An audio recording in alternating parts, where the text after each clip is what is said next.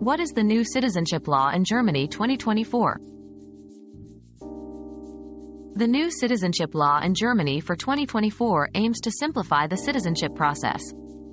Residents can now apply for citizenship after five years of living in Germany, or three years in special integration cases, reduced from the previous eight and six years, respectively.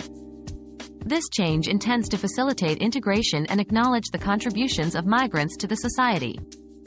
It's essential for applicants to demonstrate proficiency in the German language and financial independence and lack any criminal record to qualify under the new rules.